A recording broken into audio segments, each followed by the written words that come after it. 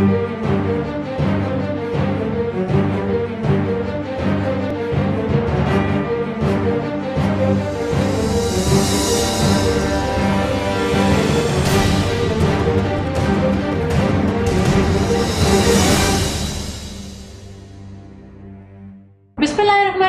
السلام علیکم، پروگرام احتساب کے ساتھ میں ہوں آپ کی میزبان فضائل عاصم ناظرین۔ آج ہمارے ساتھ موجود ہیں minister human rights and minorities Ijaz Alam Augustine صاحب۔ ان سے بات کریں گے حکومتی اسٹریٹجیز کے بارے میں، ان کے بارے میں اور جانیں گے کیا تبدیلی آئی ہے، کیا ڈیولپمنٹ ہو چکی ہے۔ ایک سال اس حکومت کو آئے ہوئے ہو گیا ہے، تو ان سے ہم جانتے ہیں۔ السلام علیکم and welcome to the show sir میں آپ سے تھوڑا سا آپ کے بارے میں جاننا چاہوں گی، آپ کی ایجوکیشنل بیک گراؤنڈ کے بارے میں فیملی بیک گراؤنڈ کے بارے میں، کہ what makes you lead to come to this politics دیکھیے میرا جو تعلق ہے وہ اکاڑا سے ہے۔ یہ لاہور سے تقریباً ایک سو بیس کلو میٹر دور ہے۔ اور وہاں وہاں سے میں نے جو میری ابتدائی تعلیم ہے وہ یہاں سے لاہور سے میں نے ڈان باسکو اسکول سے حاصل کیا اس کے بعد میں تقریباً میں نے اس کے بعد کوشش کی کہ یہاں پہ یو ای ٹی میں میرا ایڈمیشن ہو جائے لیکن یہاں نہ ہو سکا۔ پھر مجھے جانا پڑا کراچی میں ڈاؤد انجینئرنگ کالج میں تو وہاں میرا ایڈمیشن ہو گیا آرکیٹیکچر میں تو وہ کرنے کے بعد پھر میں نے ایک سال کے لیے اٹلی میں ملانو انسٹیٹیوشن میں وہاں بھی میں نے ایک سال کی اس میں اسپیشلائز کی۔ اور پھر اس کے بعد میں نے کوشش کی کہ کراچی میں کراچی ڈیولپمنٹ اتھارٹی میں میری اپوائنٹمنٹ ہو گیا as a senior town planners تو وہ وہاں پہ کیونکہ اس وقت لسانیت کا ذرا زیادہ بہت زیادہ دور تھا اور جو بہت بڑے لسانی لیڈرز تھے وہ انہوں نے وہاں پہ بڑی اپنی ایک دہشت جمائی ہوئی۔ تو مجھے وہاں پہ صرف صبائیت کی وجہ سے مجھے وہاں پہ وہاں سے پنجاب آنا پڑا تو یہاں آ کر پھر میں نے اپنی پرائیویٹ پریکٹس شروع کی تو پھر پرائیویٹ پریکٹس کے ساتھ ساتھ میں نے پالیٹکس میں تھوڑا حصہ لینا شروع کیا۔ تو پہلے میری پارٹی پیپلز پارٹی تھی۔ اچھا۔ تو اس کے بعد وہ انٹرسٹ تھا پالیٹکس انٹرسٹ تو تھا۔ ڈیفینیٹلی ہر شخص کو انٹرسٹ تو ہوتا ہے۔ پالیٹکس میں ہر کوئی کوشش تو کرتا ہے۔ یوزلی سر بائی ڈیفالٹ بھی لوگ آ جاتے ہیں نہیں بائی ڈیفالٹ تو دیکھیں میرا تعلق کسی فیوڈل آرٹ فیملی سے نہیں ہے۔ میں ایک مڈل کلاس فیملی کا میں ہوں اور نہ میری کوئی فیملی بیک گراؤنڈ میں کوئی پولیٹکس میں نہیں اچھا ہاں جی فرسٹ ون تو میں نے اسٹارٹ کیا نائنٹی سیون میں میں نے جو لوکل پارٹی الیکشن تھا۔ تو اس میں میں نے حصہ لیا اس میں کام کامیاب ہوا۔ پھر اس کے بعد جو مشرف کا local body ordinance local body system تھا دو ہزار ایک کا پھر اس میں حصہ لیا۔ تو میں تین دفعہ ممبر ضلع کونسل ہوں۔ تو اس کے بعد پی ٹی آئی میں نے جوائن کیا ہے دو ہزار دس میں۔ اچھا۔ تو دو ہزار دس سے لے کر آج تک پی ٹی آئی کے ساتھ ہوں۔ پہلے میں ڈسٹرکٹ پریزیڈنٹ بنا تھا۔ اس کے بعد پھر میں نے region regional president regional general secretary دو دفعہ رہا ہوں پھر میں پنجاب کا جنرل سیکرٹری رہا ہوں۔ اس کے بعد پارٹی نے میری خدمات کو دیکھتے ہوئے پارٹی ٹکٹ دیا اور پھر انہوں نے منسٹر بنا دیا۔ تو سر آپ کبھی سوچا تھا کہ آپ منسٹر بن جائیں؟ نہیں میں کبھی بھی نہیں سوچا تھا۔ میں تو ویسے ایم پی بن کے بڑا خوش تھا۔ اچھا۔ تو مجھے تو یہ منسٹر کا تو پتہ ہی نہیں تھا کہ لیکن ہمارے آپ کو پتہ ہے کہ پاکستان جو تحریک انصاف ہے وہ اس چیز پہ بہت بلیو رکھتی ہے کہ کم از کم جو جن کا ان کا بلیو یہ ہے کہ وہ چاہتے ہیں کہ کیپیبل لوگ آگے آنے چاہیے نہ کہ سفارش سے۔ تو انہوں نے اس کے لیے انٹرویو کیے باقاعدہ تین چار دفعہ انٹرویو کیے تو اس میں انہوں نے مجھے بہتر پایا تو مجھے سر جو منسٹری آپ کو یہ ہیومن رائٹس اینڈ مینورٹیز کی ملی ہے دس از یور چوائس اور انہوں نے آپ کو دے دی تھی؟ نے ڈیسائڈ کیا آپ کے لیے؟ نہیں چوائس تو دیکھیں آپ دیکھیں آپ ایک کرکٹ میچ میں دیکھیں گیارہ کھلاڑی کھیلتے ہوتے ہیں تو پھر آپ کو کسی فیلڈ میں لگا دیا جاتا ہے کوئی مڈ مڈ آف پہ کھڑا ہو جاتا ہے کوئی سلپ میں کھڑا ہو جاتا ہے لیکن یہ اٹس ڈپینڈ آن کیپٹن نا کہ وہ آپ کو کہاں پہ بھیجتے ہیں کہاں آپ کی ضرورت ہے تو میرے لیے یہ پورٹ فولیو دیکھیں سیٹسفائی آپ اس چیز سے اندازہ لگائیں کہ ہمیں یہاں پہ ایک سال ہو گیا۔ تو ہماری منسٹری پورے پاکستان میں پہلے نمبر پہ آئی ہے تو یہ اور پھر دوسرے صوبے جو ہیں وہ ہمارے پاس آ رہے ہیں۔ ہم سے پرپوزل لینے ہم سے چیزیں لینے کیونکہ فیڈرل گورنمنٹ نے ان کو کہا ہے کہ آپ نے اگر ہیومن رائٹس پہ جو ہمارا ایک T T T T implementation cell ہے اچھا۔ جو کہ جس کی جس کی وجہ سے ہمیں جو G S G S T plus G S T plus تو وہ اس میں جتنے آتے ہیں آپ کے پاس یورپین یونینس کے لوگ، دوسرے لوگ، تو وہ آپ کی دیکھتے ہیں کہ آپ لوگوں نے کس طرح کام کیا ہے۔ تو انہوں نے پھر ہماری رپورٹس انہوں کی بڑی سیٹسفیکٹری تھی۔ ہمارے جو پنجاب گورنمنٹس کے، جو ہیومن رائٹس ڈپارٹمنٹ کے جو انیشیٹو لیے تھے، ان کو انہوں نے بڑا اپریشیٹ کیا۔ اس کی وجہ سے پھر پورے پاکستان میں ہماری منسٹری کو پہلے نمبر پہ ان کی سر پی ایم صاحب نے آپ کو کہا تھا کہ سو دن کا پہلے آپ لوگ ایک لائے عمل دینے ہیں ڈیولپمنٹ کا۔ تو ان سو سو دن بھی گزر گئے مطلب ایک سال ہو گیا رائٹ تو اس میں اب تک آپ نے کیا اچیومنٹس کی ہیں؟ کس بیس پہ آپ کو یہ منسٹری جو ہے آپ کی نمبر ون پہ آئی؟ اصل میں کچھ میڈیا میں اس طرح کی جو ہائپ کریٹ کر دی گئی جی۔ کہ سو دن میں جی انہوں نے کہا تھا یہ سو دن دیکھیں دنیا میں سو دن جو تھا سو دن کا مطلب تھا روڈ میپ روڈ میپ تھا اور ڈائریکشن واضح کرنی تھی۔ سو دن کا مطلب یہی نہیں تھا کہ سو دن میں ہم سارا کچھ کر دیں۔ تو دیکھیں ہر کام کے لیے آپ کے پاس ایک ڈائریکشن اور روڈ میپ ہونا چاہیے۔ اگر وہ نہیں ہے تو آپ کچھ بھی نہیں کر سکتے۔ تو سو دن میں ہم نے متعین کر لیا کہ ہم نے کرنا کیا ہے ان پانچ سالوں میں۔ تو وہ ہر منسٹری نے اپنے گول سیٹ کر لیے ہر چیز تو اس کے بعد ہم نے کام شروع کیا۔ تو ابھی جتنا کام پچھلے ستر سالوں میں نہیں ہوا وہ ہم نے ایک سال کے اندر یہ چیزیں کر دی سر مثلاً کیا ہے سر مثلاً جب یہ پچھلی حکومت سے منسٹری آپ کے پاس آئی ہے۔ تو سر تب تک کیا نہیں تھا جو آپ نے ڈیولپ کر پچھلی گورنمنٹ میں صرف پانچ پرسینٹ جاب کوٹا تھا۔ اچھا لیکن اس پہ امپلیمنٹیشن نہیں تھی۔ تو ہم نے آ کر اس پہ ہنڈریڈ پرسینٹ امپلیمنٹیشن شروع کرا۔ دیا پھر جاب کوٹا تھا لیکن اصل جو ہمیں لینا چاہیے تھا اپنے بچوں کے لیے وہ ہائر ایجوکیشن میں ہائر ایجوکیشن اور پروفیشنل انسٹیٹیوشن میں۔ تو ہم نے ابھی وہ کام شروع کیا ہمارا نائنٹی پرسینٹ وہ ہو گیا۔ پھر اس کے بعد سیکنڈ ہمارا تھا کہ جیلوں میں ہم نے جب وزٹ کیے تو اس میں ہم نے دیکھا کہ جو جو مسلمس اہ، قیدی تھے اچھا۔ ان کے لیے عید الفطر پہ عید الاضحیٰ پہ ان کو تین تین ماہ کی رعایت ملتی تھی۔ اچھا۔ تو جبکہ یہ جو مائنارٹی کے لوگ تھے ان کے لیے نہیں تھا۔ تو ابھی ہم نے وہ کروایا ہے سارا کہ اب جو مائنارٹی کے قیدیز ہوں گے ان کو بھی جو ان کو بھی ہاں، جج ہے۔ پھر آپ کو پتہ ہے کہ پاکستان میں پہلی دفعہ جو کرسمس جو ہے وہ سرکاری سطح پر منانے کا پرائم منسٹر صاحب نے اعلان کیا۔ پھر اس کے بعد ہیٹ مٹیریل آپ کو پتہ ہے کہ بہت زیادہ ٹیکس بک میں موجود تھا۔ جن کی وجہ سے آپ سوسائٹی میں جو کہ ایکویلٹیز اور ٹالرنس نہیں پیدا کر سکتے تو وہ ہم نے پنجاب ٹیکس بک میں اپنا ریپرزینٹ بٹھا دیا ہے ڈپارٹمنٹ کی طرف سے جو کہ ان بکس کو دیکھے گا اور ان میں ہیٹ مٹیریل کو طلب کرے گا۔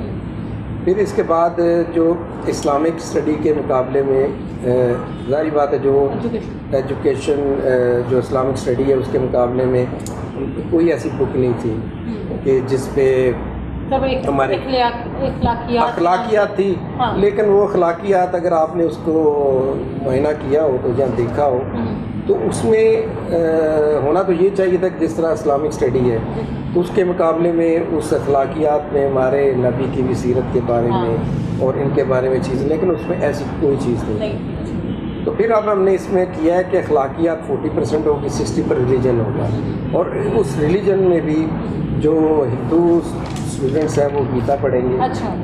اور جو سکھ ہیں وہ گرنتھ پڑھیں گے اور جو اپنے مذہب کی جو کرسچن ہاں جی وہ اپنی بک اپنا اسلامک ریلیجیس بک پڑھیں گی سو دس از اے گڈ انیشیٹو سر میں آپ سے جاننا چاہوں گی کہ پاکستان پاکستان کو دیکھیں پنجاب پھر لاہور دیکھ لیں میٹروپولیٹن سٹی ہے۔ سر اس میں کیا ہیومن رائٹس کے لیے کوئی قانون نافذ کرنے کے لیے کوئی لائے عمل ہے؟ کوئی قانون ہے؟ کوئی قانون ہے؟ دیکھیں پہلے یہ ہیومن رائٹس کو عام طور پہ یہ ہوتا تھا کہ ہیومن رائٹس کے بارے میں جب بھی کوئی بات کرتا تھا، تو وہ سمجھتے تھے کہ یہ شاید کوئی باہر کا یہ ایجنڈا ہے یا اس طرح کی بات ہے۔ ہم نے آ کر پہلے ہیومن رائٹس کو کنٹرول صرف پنجاب سے یہاں سے بیٹھ کے کیا جاتا ہے۔ کسی کو نہیں پتا تھا کہ جو ہیومن رائٹس کی وائلیشن اگر آپ کے کیپٹل میں ہو گئی ہے، تو اس کو دیکھ لیا گیا کیونکہ یہاں پہ میڈیا بھی زیادہ ہے، لوگ بھی زیادہ اویئر ہے۔ اگر یہ راجن پور میں ہوتی تو کس کو پتہ نہیں ہوتا؟ تو ہم نے آ کر پورے پنجاب میں ہم نے ہر ایک جو ہیومن رائٹس فورس بنا دی ہے جو اس اس میں ڈپٹی کمشنر جو ہے وہ اس کا چیئرمین ہوگا۔ ہاں جی تھنک ٹینک کمیٹی کہہ لیں یا ٹاسک فورس کہہ لیں۔ تو جو ڈسٹرکٹ سپریم جیل ہے ڈی پی او ہے ڈسٹرکٹ لیول پہ کر ڈسٹرکٹ لیول پہ کر دی ہے اور اس میں دو ہم نے سول سوسائٹی سے لوگ لیے۔ ہیں اچھا۔ اب اس کا فائدہ یہ ہو رہا ہے اس کا فیڈ بیک یہ آ رہا ہے کہ ہمارے دیکھیں ایک ممبر تھے جنگ سے۔ جب اس نے کیس کو ہائی لائٹ کیا تو سی ایم صاحب نے اس کو پک کیا۔ ٹھیک ہے۔ پھر ایسے دوسری جگہوں پہ تو اب ایسا ہے کہ ہمارے بہت جگہوں پہ ہمارے جو ہیومن رائٹس کے ممبران ہیں وہ جیلوں میں قیدیوں کو چڑھا رہے ہیں۔ جن کے چھوٹے چھوٹے معمولی معمولی جرمانے ہیں، ان کو دے کے تو وہ کر رہے ہیں۔ تو اس طرح ہم پنجاب میں راجن پور تک اب جو ہماری جو ہے گرپ آ گئی ہے۔ سر، جیلوں میں تو بیچارے قیدی جو کوئی پتہ نہیں، ہزار، دو ہزار کا بھی مجرم مطلب جرمانے کے لیے چھ چھ مہینے یہ پرانی بات تھی ابھی ذرا چیک کر کے بتائیں ہم نے ہم نے پورے پنجاب سے لسٹیں لے کر کام شروع کیا ہوا۔ کافی ساری آپ کو کوڑ لاکھپت میں ایسا کوئی کہتے نہیں ملے۔ گا ہاں یہ ابھی آپ کو لاہور کی جتنی جیلیں ہیں وہاں آپ کو نہیں ملے گا۔ آپ کو شیخو پورہ میں نہیں ملے گا۔ اس لیے کہ ہم نے اب پورے پنجاب سے میرے پاس اگر آپ کہتی تو میں آپ کو شیئر کر دیتا۔ میرے پاس پورے پنجاب کا ڈیٹا ہے۔ کیونکہ سر جیلوں میں جتنی کیپیسٹی ہے بزنس کے لیے لیکن وہ اس سے ایکسٹینڈ ہوگی تھی بیکاز آف آل آپ نہیں وہ کر سکتے دیکھیں یہ اگر دیکھیں یہ میرا اور آپ کا کام کرنے والا نہیں نیا ریاست کرتی ہوتی ہے یہ تو ایک معاشرے میں اویئرنیس پیدا کی جاتی ہے کہ لوگ کم سے کم کرائم کریں اور کم سے کم جیلوں میں جائیں۔ تو سر آپ لوگوں نے کوئی اویئرنیس کیمپینس وغیرہ کی تاکہ لوگوں کو کچھ پتہ چلے؟ میں دیکھیں یہ میں آپ کو بات بالکل ایسی ہے۔ دیکھیں اس میں ایسا ہوتا ہے کہ بالکل عام طور پہ اس میں سب سے زیادہ اسٹیٹ سے زیادہ سول سوسائٹی کا رول ہوتا ہے۔ یہ معاشرے میں اویئرنیس پیدا کرنا۔ ہم تو دیکھیں گورنمنٹ انڈیپینڈنٹلی تو کچھ بھی نہیں ہو سکتا ٹیم ورک ہے۔ تو ہم نے مختلف این جی اوز کے ساتھ مختلف سوسائٹی کے لوگوں کے ساتھ مل کر اس کمپین کو چلا رہے ہیں۔ اور میں آپ کو یہ بات شیئر کرتا چلوں کہ ابھی ایک سال کے اندر ہمارے پورے پنجاب سے۔ پہلے آپ کو پتہ ہے کہ اس طرح معاشرے میں گھٹن کا شکار تھا کہ پہلے سو کی تعداد میں ہر سال کیسز ہوتے تھے بلاسٹ کے۔ ابھی پورے پنجاب میں دو کیسز ہوئے۔ تو اس کا مطلب ہے کہ لوگوں میں چینجز آ رہی ہیں۔ اور اسی کا نام تبدیلی تبدیلی ہے۔ نعرہ کیونکہ پی ٹی آئی کا نعرہ ہی ہاں تبدیلی ہے۔ تو بیٹرمنٹ آتی جا رہی ہے۔ سر ہمارے ملک میں ہمارے پنجاب میں آپ بات کر لیں پاکستان میں بات کر لیں پنجاب میں لاہور میں بات کر لیں قانون ہے قانون ہے لیکن قانون کی امپلیمنٹیشن نہیں ہے۔ لوگوں میں قانون کا خوف نہیں ہے ایسا کیوں؟ اس کو امپلیمنٹ کرانے کے لیے کیوں نہیں آپ لوگ کچھ کر رہے ہیں ایسا؟ دیکھیں معاشرے کے اندر اس طرح کے ایلیمنٹس موجود ہوتے ہیں اور یہی بات یہاں نہیں ہے۔ جو بات آپ سوال پوچھ رہے ہیں یہ امریکہ میں بھی ایسے ہے۔ امریکہ لیکن سر معذرت کے ساتھ امریکہ آپ بھی گھومے ہوئے ہیں سارا ملک آپ نے بھی دیکھے ہیں سر۔ یہی عوام جب ان ملکوں میں جاتی ہے ایک قانون کا کو خوف ہوتا ہے۔ ایک چھوٹی سی ایگزامپل دوں گی سر۔ ٹریفک سگنل کو یہ توڑ کے گزر جاتے ہیں کیونکہ ان کو کوئی خوف نہیں ہے۔ لیکن باہر کے ملکوں میں یہ آپ سوچ بھی نہیں سکتے کہ آپ ٹریفک سگنل کی وائلیشن کریں گے۔ قانون ہے۔ دیکھیے میں اس میں تبدیلی کی بات بتاتا ہوں کہ دیکھیں آپ لاہور میں آپ دیکھیں کہ نائنٹی نائن پرسینٹ لوگوں نے ہیلمٹ پہنے ہوتے ہیں۔ ٹھیک ہے۔ تو ان کو پابند کیا گیا ہے؟ سر لیکن اس کو بھی توڑ نکال لیتے ہیں پیٹرول ڈلانے جاتے ہیں تو پیٹرول پمپس پہ ہیلمٹس رکھے ہوئے ہیں۔ ان لوگوں نے کہا جی پیٹرول نہیں ملے گا اگر ہیلمٹ نہیں پہنا ہو۔ تو پیٹرول پمپ سے انہوں نے ہیلمٹ رکھ لیجیے ہم کو ہیلمٹ پہنا کے پیٹرول بیچ لیں دیکھیے وائلیشن تو جب تک یہ دنیا ہے اس کو ہوتی رہنی ہے قانون تو ہر جرم کے ہوتے ہیں۔ دیکھیے دنیا میں سب سے پہلے پھانسی ہوتی تھی ہاں۔ تین سو دو کی کیا رک گئے ہیں؟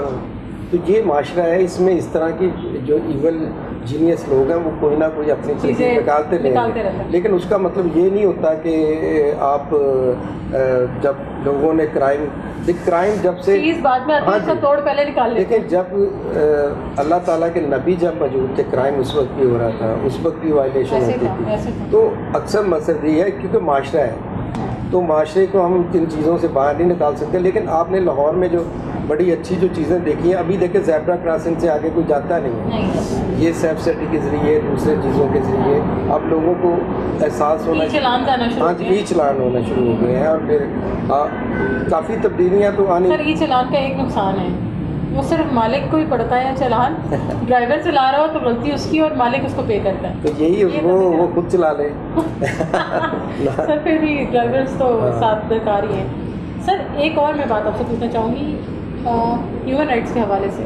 سر ہیومن رائٹس کے بارے میں بات کریں تو ہر آدمی یہ چاہتا ہے ڈفرینٹ ڈپارٹمنٹ میں ہر بندے کو یہ ہوتا ہے کہ ہمارے ہیومن رائٹس کو پروٹیکٹ کیا جائے اس کی خلاف ورزی نہ کی جائے۔ ہر ڈپارٹمنٹ میں یہ مسئلہ ہے۔ تو سر اس کے لیے کوئی لائے عمل آپ نے ایسا تیار کیا ہو؟ دیکھیے جب تک ہم ہیومن رائٹس کو ایز اے سبجیکٹ نہیں پڑھانا شروع کریں گے ہم اپنے کریکولم ہم کریکولم کا حصہ نہیں بنائیں گے۔ اس وقت تک مجھے آپ کو یہ احساس کبھی بھی نہیں آئے گا کہ کس کے کیا رائٹس ہیں۔ اور تب بھی ان کو ہم ایڈریس کر سکتے ہیں۔ تو ہم کوشش کر رہے ہیں کہ ہم ہیومن رائٹس کو ایز اے سبجیکٹ introduce کرائیں۔ انٹروڈیوس کرائیں۔ ہوں تاکہ لوگوں کو پتہ چل سکے۔ ابھی تو پتہ ہی نہیں ہے۔ ابھی میں آپ کو بتاتا ہوں کہ ایک ایس ایچ او کے تھانے کے اس کو پتہ ہی نہیں ہوتا ہیومن رائٹس ہوتا کیا ہے؟ ہاں۔ اب یہ ہم چاہتے ہیں کہ اداروں کو پابند بنائیں تاکہ وہ کسی ایس ایچ او کو یا کسی ہاں جی ان کو بتایا جائے کہ ہیومن رائٹس کیا ہے۔ ابھی پچھلے دنوں میں نے کچھ تھانوں کا وزٹ کیا۔ اچھا۔ تو اس میں میں نے دیکھا کہ ایس ایچ او نے اسی جیل میں بزرگ کے گھسیڑے ہوئے تھے۔ اچھا۔ اسی میں بچے تھے۔ اور یہ. ہاں جی۔ تو میں نے اس کو بتایا میں نے کہا یار تمہیں کسی نے یہ ٹریننگ نہیں دی۔ کہ یہ جو جو جو نائل ہے ہاں، اور یہ۔ ان کو سیپٹر رکھنا ہاں۔ تو جو حالات جا رہے ہاں ہیں جی اس کا اس کے سامنے کوئی جواب نہیں تھا تو اصل بات یہ ہے کہ ہمارے جو انسٹیٹیوشنز ہیں ان کو بھی اس چیز کا پابند بنانا پڑے گا نے اس چیز کو کوئی ہائی لائٹ کرنا چاہا اس چیز کے اوپر کوئی کام کرنے جی ہاں؟ میں نے میں نے بالکل میں نے ان کے خلاف آئی جی صاحب کو بھی لکھا اچھا اور ابھی ہم اس کے لیے سسٹم بنا رہے ہیں ہم اپنے ڈپارٹمنٹ سے کہ ہم ہم۔ پیش رفت شروع اب ہم نے اب ہمیں ہمیں سپورٹ ہے سب سے زیادہ جو گورنر سرور صاحب ہیں کیونکہ وہ یو کے میں رہے ہیں وہاں پہ وہ ایز اے پارلیمنٹری۔ تو وہاں کا سسٹم ہے ہیومن رائٹس کا وہاں پہ ہیومن رائٹس ایکٹ ایکٹ جو ہے وہ نافذ ہے وہاں۔ اس ہیومن رائٹس ایکٹ کا مطلب یہ ہے کہ آپ ہیومن رائٹس کے بھی انسپیکٹر ہوتے ہیں جو جا کر اگر کوئی ہیومن رائٹس کی وائلیشن کرتا ہے تو اس کو اسی ٹائم چلان کرتا ہے جس طرح فوڈ ڈپارٹمنٹ فوڈ اتھارٹی جا کے اسی ٹائم اس کو جرمانہ سر بریک کا ٹائم ہوا ہے ایک بریک کی طرف چلتے ہیں۔ کنٹینیو کریں گے گفتگو کا سلسلہ ہم کنٹینیو کریں گے۔ اجاز صاحب ہمارے ساتھ ہی موجود ہے ہم بات کریں گے بریک کے بعد ہیومن رائٹس کے بارے میں کیا کیا رائٹس ہونے چاہیے کس طرح اس چیز کو چلانا چاہیے۔ ٹل دین اسٹیٹ